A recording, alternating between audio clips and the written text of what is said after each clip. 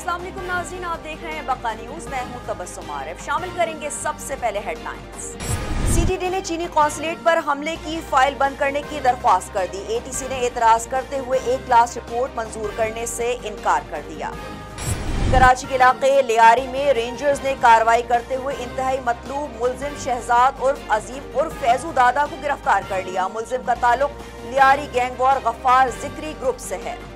وفاقی وزیر خزانہ اسد عمر نے کہا ہے کہ منی بجٹ تیئیس جنوری کو پیش کیا جائے گا۔ واضح ہے کہ اس سے قبل اکیس جنوری کو منی بجٹ پیش کرنے کا پلان کیا گیا تھا۔ تاہم وزیر اعظم عمران خان کے غیر ملکی دورے کے سبب اس کی تاریخ کو آگے بڑھا دیا گیا۔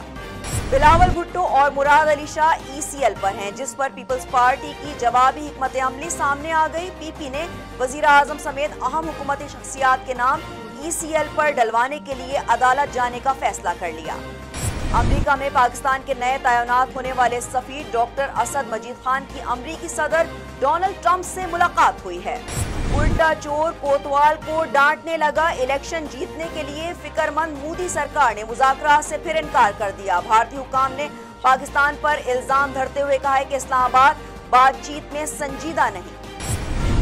مسائل میں گھرا پشاور کا بی آر ٹی منصوبہ مکمل ہونے سے پہلے ہی ٹوٹ پھوٹ کا شکار ہو گیا۔ بی آر ٹی کی دیواروں میں جگہ جگہ دراڑے پڑ گئیں۔ انڈر پاسز یو ٹرن اور چوراہوں کے پلسٹر اکھڑنے لگے۔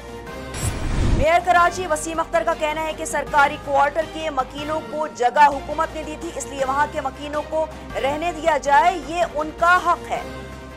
اور کراچی کے مختلف علاقوں میں ہلکی بوندا باندی سے موسم خوشگوار ہو گیا، جس سے سردی کی شدت میں اضافہ ہو گیا۔ شہر کے مختلف علاقوں، نارتھ کراچی، نیو کراچی، ملیر اور انگی ٹاؤن سمیت مختلف علاقوں میں بارش ہوئی، جس سے موسم نہایت خوشگوار ہو گیا۔ ناظرین، بقا نیوز نے فی الحال اتنا ہی۔ مزید خبروں سے باخبر رہنے کے لیے آپ وزٹ کر سکتے ہیں ہماری website Baqa news dot com. دیکھتے رہیے بقا نیوز۔